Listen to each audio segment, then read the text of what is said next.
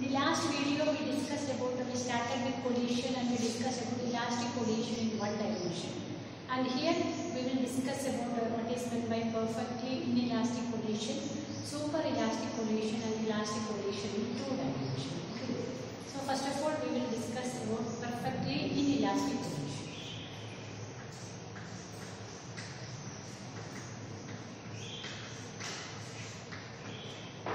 Perfectly inelastic collision.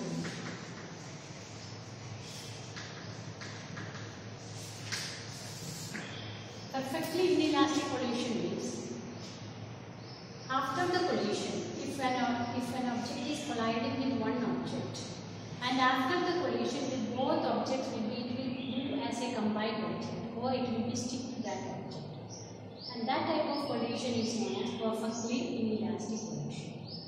For example, if you are throwing mud to a mud, mud, what happens that mud will be stick to the wood. So in that collision we can consider it as a perfectly inelastic collision. Similarly, if a person is jumping into a moving vehicle, moving truck or something, what happens? After that it is moving as a single object. Okay. Similarly, in shooting, best example of perfectly inelastic collision is in shooting. In shooting, but this bullet is fired from the gun and that bullet will be stick to that object, whichever we are focusing, it will be stick to that object. So that is best example for perfectly inelastic collision. So in the case of perfectly inelastic collision, we can say that after the collision, if one object is colliding with another object and after the collision, they move as a single object. Okay. One object is colliding with another object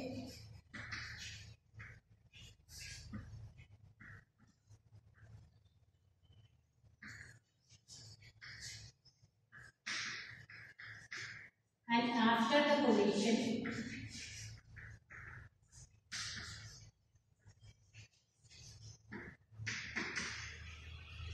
they move as a single they move as a single object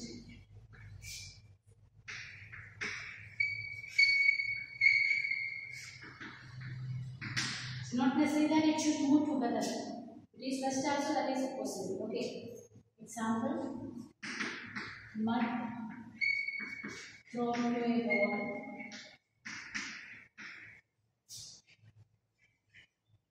a person is jumping into a moving truck or moving vehicle, then he shooting. Okay. So we can say that in of perfectly inelastic collision, in all in, in, in an inelastic collision, there is loss of uh, kinetic energy and in perfectly inelastic collision, the loss of kinetic energy will be same. So we can show that kinetic energy, initial kinetic energy is more than final, final kinetic energy and there is always a loss of kinetic energy in perfectly inelastic collision. Okay. So for that we are considering two objects having masses m1 and m2. m2 is initially at rest, m1 is moving with velocity u1. They are colliding each other and after collision what happens? It moves as a single object with a common velocity. Okay, after the collision they are moving as a single object with constant velocity v. So in this situation we have to show that initial kinetic energy is more than kinetic, final kinetic energy. So how we can prove that a collision is perfectly inelastic collision? We can prove a collision is perfectly inelastic collision if it is if we are finding initial kinetic energy and final kinetic energy and if there is initial kinetic energy is more than final kinetic energy we can say that it is a perfectly inelastic collision okay? So u1 and uh, initially the uh, mass of m1 is moving with a velocity u1 it is colliding with a mass m2 which is at rest. After collision both are moving as a single so if it is given as uh, after the collision they are moving as a single object also we can say that it is perfectly inelastic collision.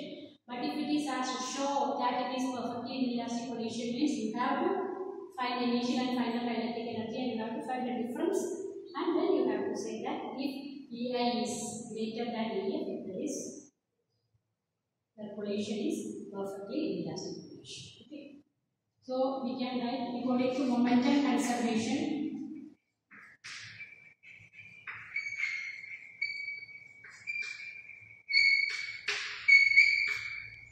M1 U1 M2 is at rest is equal to so M1 plus M2 into V or we can write V is equal to M1 U1 divided by M1 plus V. So this is the common velocity with which that object is moving. Okay. Now by we can find kinetic energy, kinetic energy difference. So initial kinetic energy can be written as Ki stands for the initial kinetic energy that is equal to half m1 m1 square because second object is at first and final kinetic energy can be written as half into m1 plus m2 into this. Okay. Now we are finding the difference initial kinetic energy minus final kinetic energy. Ki minus Kf. Ki is half m1 u1 square minus half m1 plus m2 into. Instead of v, what we can substitute m1 u1 by m1 plus m2. m1 u1 divided by m1 plus m2 the whole square. So m1 plus m2 1 can 1 m1 plus m2 can be cancelled and half m1 u1 square can be taken common. So here 1 minus m1 divided by m1 plus m2.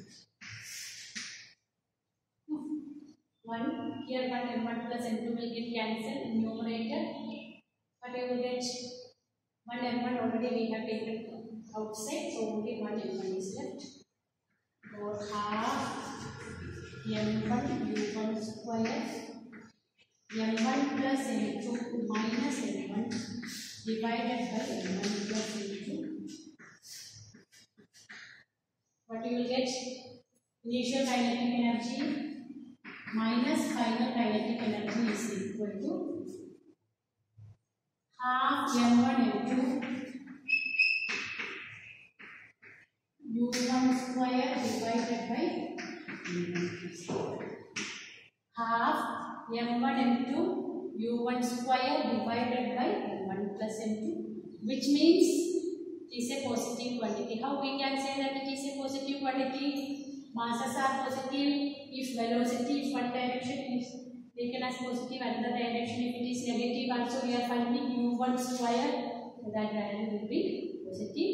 So we can say that Ki minus Kf is positive but it shows Ki is greater than Kf or we can say that there is loss of kinetic energy. So there is always a loss of kinetic energy in a perfectly inelastic condition. Okay. In a perfectly inelastic condition, there is always loss of kinetic energy. So in problems, sometimes they may ask, find the common velocity. So by using this formula, you can find the common velocity. If second object is not at rest also, you can substitute that m1 u1 plus m2 u2 like that equal to m1 plus m2 into v. Here, one the situation we consider second object is at rest. And we can say that there is always loss of kinetic energy during a perfectly inelastic condition. Okay, is it clear? And next we are going to discuss about super elastic conditions. Super elastic condition. So in a super elastic condition, there is an increase in kinetic energy. That is, initial kinetic energy will be less and final kinetic energy will be there is an increase in kinetic energy. This or it is also known as explosive condition. Explosive collision. This normally in the case of crackers, what happens is that their final kinetic energy will be more than initial kinetic energy because potential energy will be or chemical energy will be getting converted into kinetic energy. So final kinetic energy will be greater than initial kinetic energy. Such type of collisions are known as super elastic collision. So we kinetic energy after collision will be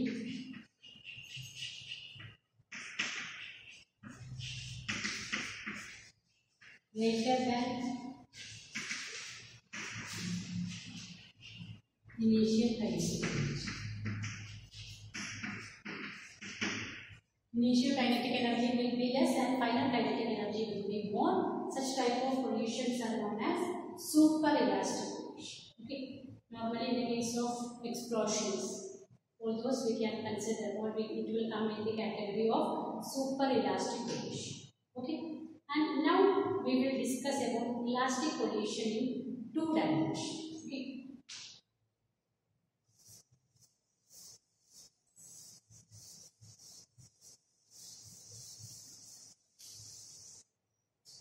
Elastic collision in two dimensions.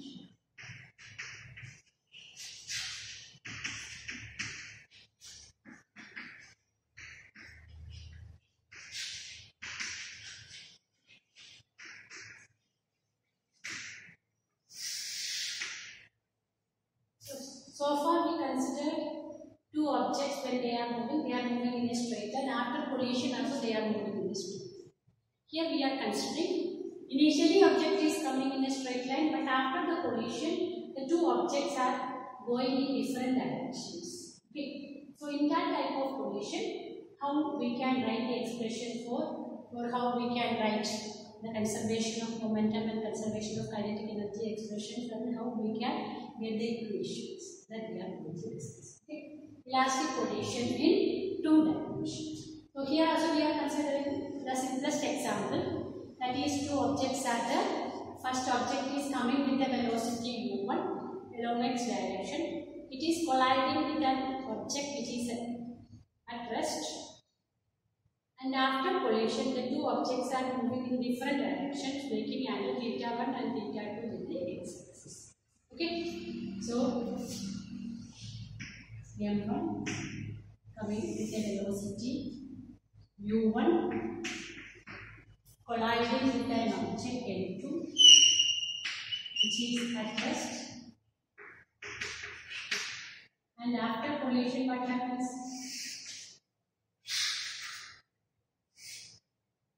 after collision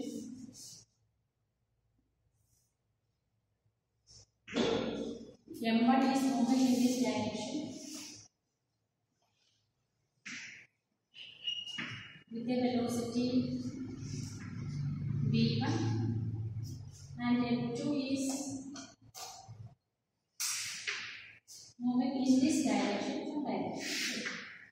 velocity m2 moving with a velocity m2 is moving with a velocity v2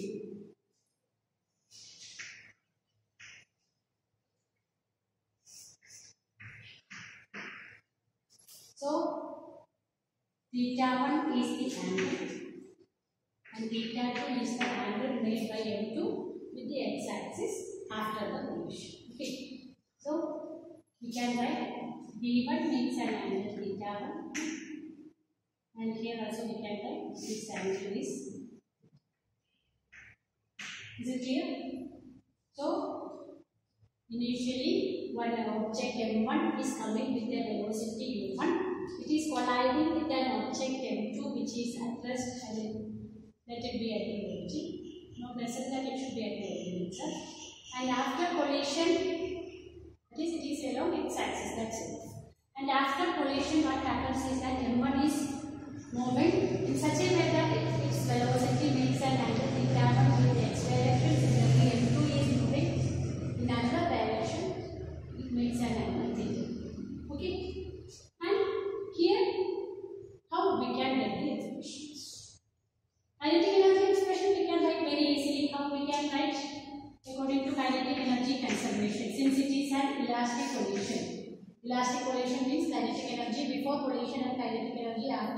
collision remains same. So kinetic energy conservation.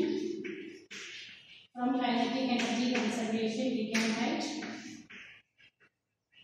what we can write initial kinetic energy is equal to final kinetic energy. Initial kinetic energy is given by half m1 u1 square. Second object is initially at rest, so no need of worrying about that. Next, final kinetic energy can be written as half m1 v1 square plus half m2 v2 So this is our first equation. Half m1 u1 square equal to half m1 v1 square plus half m2 v2 square that we got from the expression of kinetic energy. Now we have to consider the momentum. So from the momentum conservation, from momentum conservation.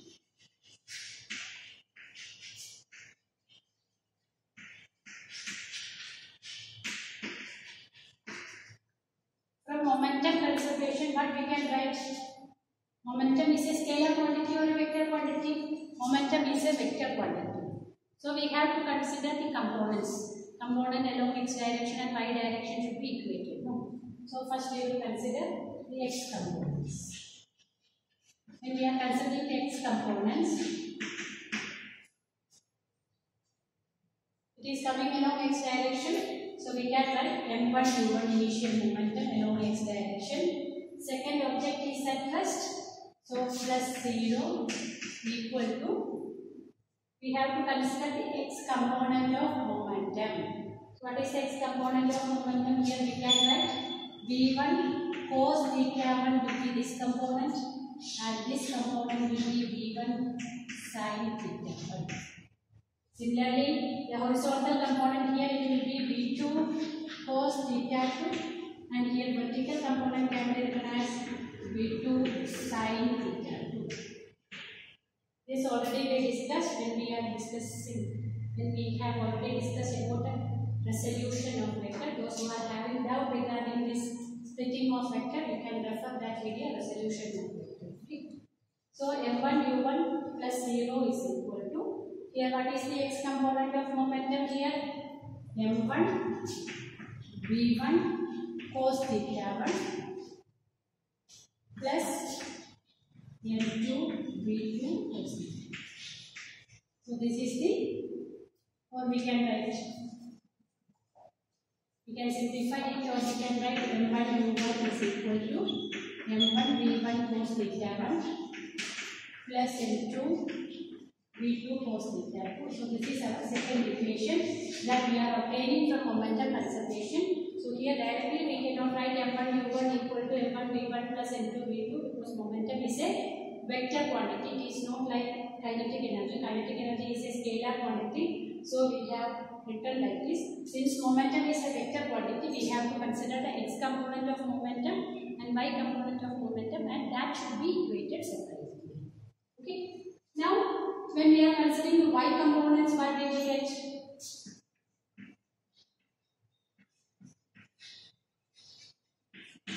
When we will consider the y components, initially any y component of momentum is there, the object is coming along x direction. So it has no y component and here also second object initially first, so no y component. So we can write 0 is equal to. What is the y component of momentum for this? We can write m1 v1 sin theta. And here what is the y component? Here the direction is opposite direction. So we can write minus m1, so m2 v2 sin. Okay. Why we have written? Because v1 sin theta 1 is positive y direction, v1 v2 sin theta 2 is along negative y direction or one is vertically upwards and another one is vertically downward. So we can write m1 v1 sin theta 1 minus this minus sign arises because this is along vertically upward direction, it is vertically downward direction because of this this minus sign. Okay. So we are having three equations. Three equations are there and if only three unknowns are there, we can simplify those equations. So normally in problems they will give some of the data they will give and you have to find the unknown. Okay. So by simplifying these three equations, you can find the unknown quantity whichever is asked in the problem. Because only if we can solve equations if only the how many equations are there, those many unknowns are there only we can solve. Here, since we are having three equations, if three unknowns are there, we can simplify it. So normally in problem they will give some values will be given and unknowns we have and unknowns we have to find. Okay. So by using these three equations, you can simplify or you can find the unknown.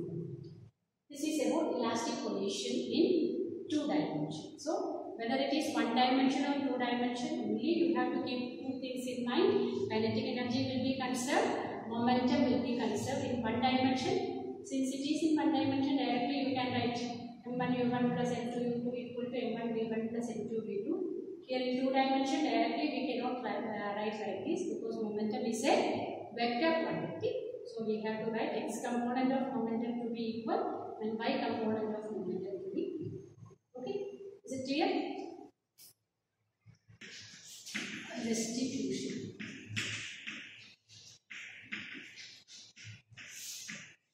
Coefficient of restitution. It is represented by small letter e. What is meant by it?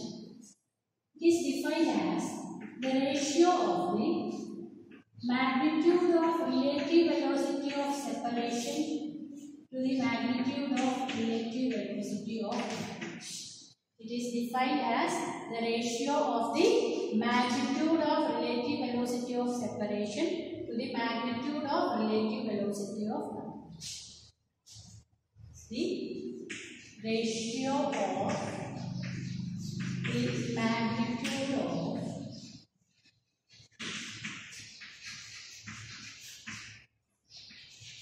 relative velocity of separation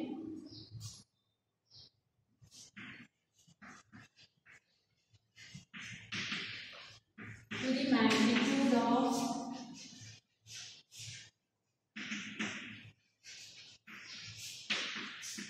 relative velocity relative velocity of approach. That is known as coefficient of restitution. Magnitude of V1 minus V2. Actually, V2 minus V1 we are taking relative velocity of separation. We are finding the magnitude of relative velocity of separation. So, if it is minus V2 minus V1 or V1 minus V2, since we are finding the magnitude, we will get a positive. Okay. And that is known as coefficient of restitution. Ratio of magnitude of relative velocity of separation to the magnitude of relative velocity of approach and that ratio is known as coefficient of restitution. Now you will think what is the significance of this? So by knowing the value of E, we can say that which type of collision is this. For example, if E is equal to 1, what you can say? If E is equal to 1 means relative velocity of separation is magnitude of relative velocity of separation is equal to magnitude of relative velocity of approach which means it is perfectly elastic collision. Elastic collision. During an elastic collision, we can say E is equal to 1. In an elastic collision, we can say E is equal to 1. Relative velocity of separation is equal to relative velocity of approach. Minus sign we have seen. So here since we are finding the magnitude, we can say that both of them will be equal. So that happens in an elastic collision, perfectly elastic collision. The example of the, those type of perfectly elastic collision is that what happens in subatomic collision of subatomic particles. Case of collision of subatomic particles, we can say the collision will be perfectly elastic. And if E lies between between 0 and 1, okay, E lies between 0 and not equal to 0 and not equal to 1. In that case, we can say that it is an inelastic condition.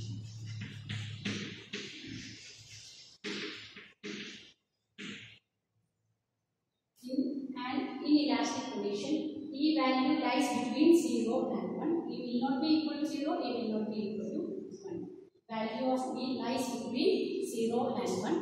That is what happens in an inelastic condition. The collision loss which taking place in normal situation, we can say it as inelastic condition. Okay, inelastic condition. And next one, if E equal to 0. If E equal to 0 means numerator should be 0. Numerator should be 0 means what it shows relative velocity of separation is no, not that. No. Which means after the collision they become as a single object. So it happens in the case of perfectly perfectly inelastic.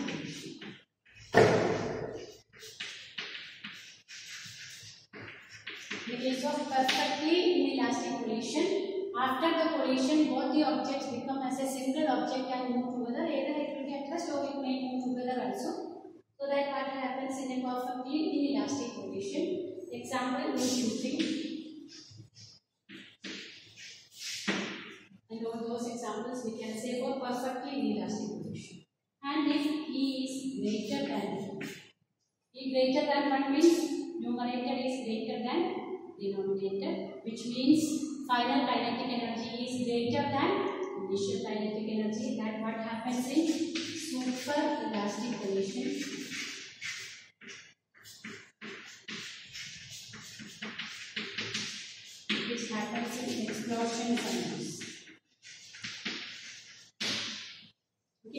which happens in explosion and those we can say it is super elastic condition. So this is the significance of coefficient of restitution. So by knowing the value of coefficient of restitution, we can say that which type of collision it is. Okay, and all those examples we discussed. So today we discussed about super elastic collision and inelastic collision, perfectly inelastic collision, and then perfectly inelastic collision we discussed. Then we discussed about super elastic collision, elastic collision in two dimension, and what is meant by coefficient of restitution and what is the significance. By knowing the value of E, what we can understand that already. I hope all of you understood and you can solve problems based on this and if you are having doubt, you can come